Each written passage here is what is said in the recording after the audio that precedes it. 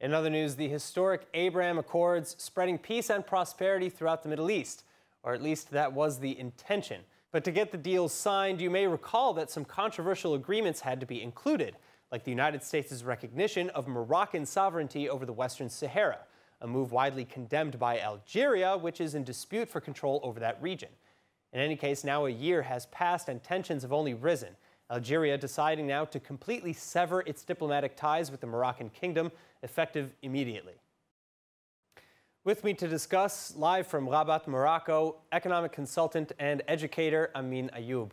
Amine, thanks for joining us again. Now, in cutting ties, Algeria is saying that Morocco has never stopped its hostile actions, specifically accusing Morocco of spying on Algerian officials using Israeli company NSO's Pegasus software, also of supporting Algerian separatist groups that Algiers deems as terrorists, and of failing bilateral commitments, including on the issue of the Western Sahara, of course. Morocco, on the other hand, of course, categorically rejecting these fallacious and even absurd pretexts for the move.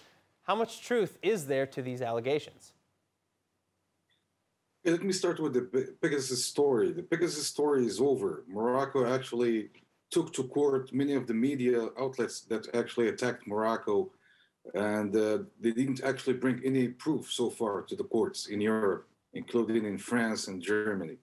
And going back to the, our story, our history, uh, the relation, the historical relationship uh, between us and Algeria. I mean, after Morocco uh, took its independence from France in 1956, uh, Morocco, under the leadership uh, at that time of King Mohammed V, were, Morocco was actually helping the Algerians to to get their independence from France.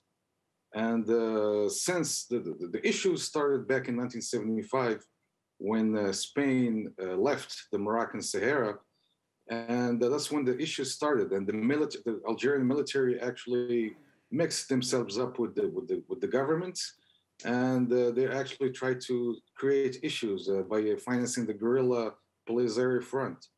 And uh, the issues with Algeria actually went to their peak back in 1994 when uh, a hotel in Marrakesh was attacked by a group of terrorists. And uh, the Moroccan government actually found out that those terrorists had French citizenships with the Algerian citizenships also. And we actually closed the border since 1994. So these issues have been happening for a long time, not just because of the Pegasus story or the Israeli normalization with Morocco. All right, so speaking a little bit more broadly now in terms of the consequences of this split, both of these countries are allied to the West and they're strategically important to fighting global terrorism, with the Arab League calling on both nations to maintain at least a minimal effort of ties beyond just the consulates that will remain open. Uh, so, how bad is the separation of these two nations for the region as a whole, uh, or even further out for the, for the rest of the world? I think this is just temporary. I don't know how things will go from here, but uh, we have uh, Algeria and Morocco. We have two consulates and an embassy, and uh, we also have Moroccans who are living there. We have Algerians living here.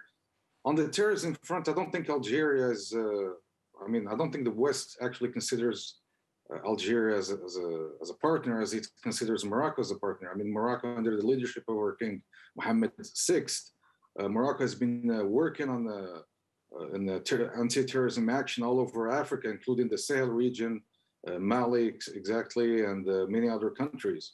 I don't think Algeria, I mean, Algeria has been financing the Polisario guerrilla front for a while now to, against Morocco. All right, so uh, what about, uh, what about with respect to Israel? Because Algerian officials, even as an aside, dragged Israel into this conflict, saying that Foreign Minister Lapid's visit uh, and comments in Rabat very recently, some of which were critical of Algeria's potential ties to Iran, were unacceptably offensive. Morocco says that Algeria would do better to focus on its own issues. Uh, what part does Israel play in all of this, and, and how is Israel going to be affected? All right, Lapid is not going to actually uh, make comments without having proof. So uh, I mean, that's obvious. And also, as you know, many Muslim countries, when there's an issue, an internal issue, it's always Israel is always blamed for something.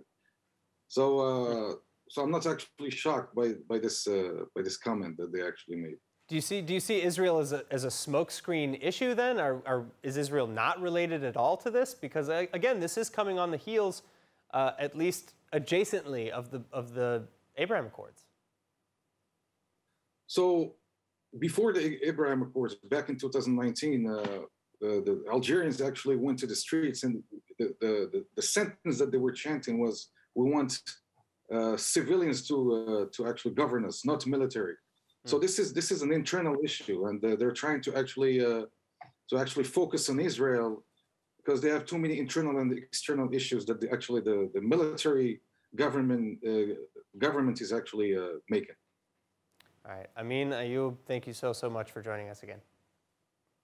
Thank you.